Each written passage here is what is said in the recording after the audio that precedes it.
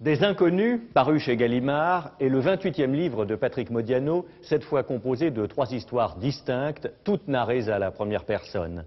La hantise de la guerre en est absente, mais ces trois jeunes femmes qui viennent nous confier leur frêle destin ont chacune essayé de s'en sortir, comme l'on dit, avec leur maladresse, leur pressentiment que l'on peut vivre autrement, autre chose.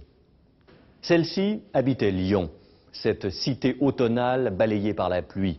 Elle a espéré devenir mannequin et puis un soir à Perrache, elle a pris le train de nuit pour Paris.